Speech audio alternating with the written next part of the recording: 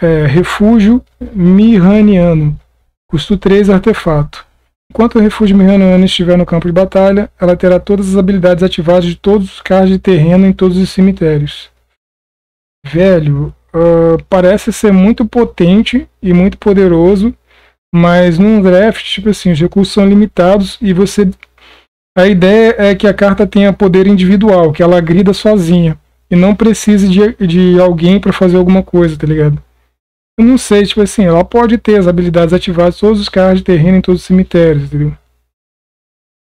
Não, cara, não me impressionou essa carta, tá ligado? Talvez no construído, você construir, fazer um deck com ela é bom. No draft eu não sei se você vai conseguir é, é, utilizar isso aí, tá ligado?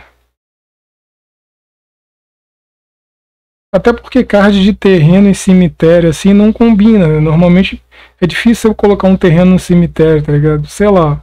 Eu acho que para draft nota zero. Eu não acho que ela vai jogar bem assim.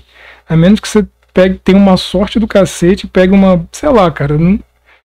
Posso estar errado, depois eu posso até mudar. Não, eu não vou escrever minha opinião em pedra, tá ligado? Mas eu não vi, não vi uma coisa boa nessa carta. Assim, enfim, nota zero.